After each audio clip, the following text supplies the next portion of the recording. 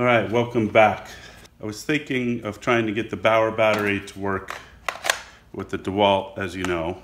Three amp hour battery was 35 bucks versus the DeWalt's five amp hour, 70 bucks or so. I think you can get the three amp hour for around 55 bucks. But then I looked on Amazon and found this. Straight from Amazon, $35, delivered same day. Here we go. Says 5 amp hour lithium ion, supposed to work with DeWalt. Looks the same. Cutouts are the same. It's got all the pins in there. Has the same three bar, ooh, it even comes fully charged. Same three bar indicator as the DeWalt. Very, very similar battery. Does it work?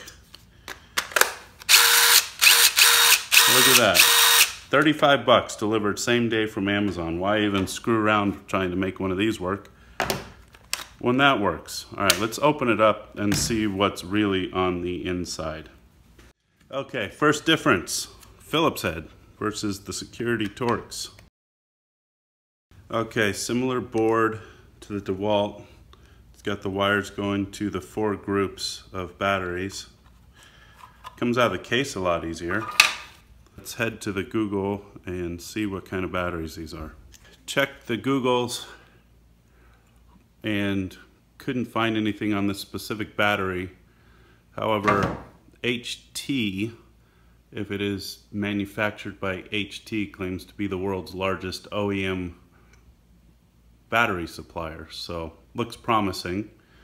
And of course, you know, if it's wrapped in purple, that means it's 2500 milliamp hours. Not really. But we need a way to test these. So let's think about it.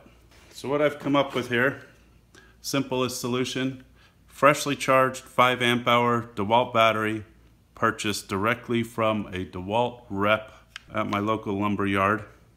So pretty sure it's real. Fully charged. This one hasn't been used much, a little dirty, but we're gonna put it in the blower turn it on, see how long it runs at full power till it cuts out.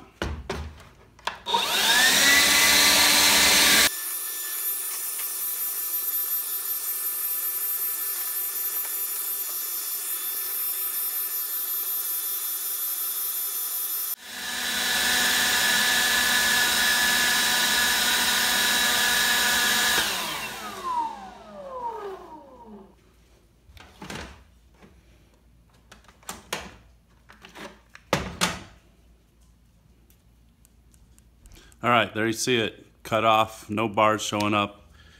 Pack's a little warm.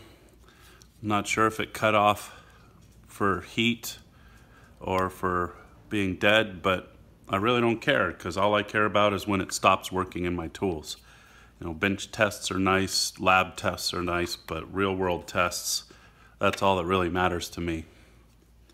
Let's try the $35 Amazon Prime delivered same day special.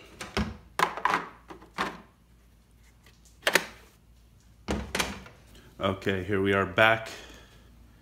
Let it cool down. Everything sat for a while. Got the $35 Amazon battery in there. Let's see what it does.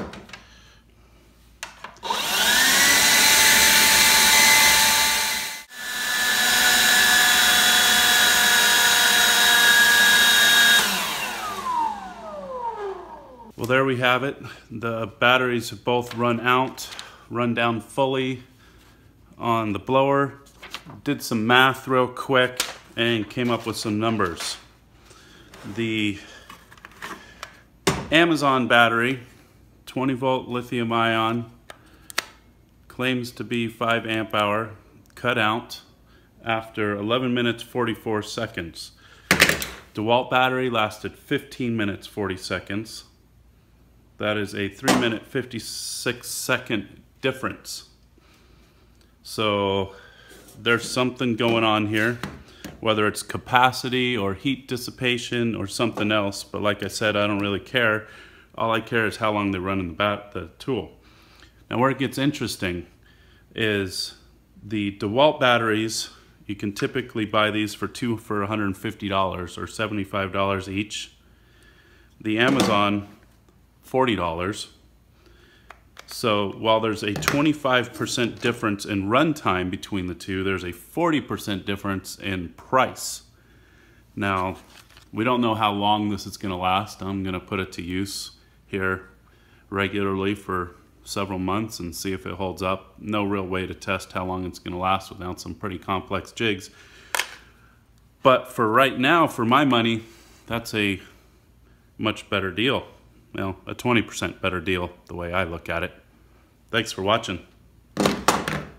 Oh, and this is for you guys in the comments. You know who you are.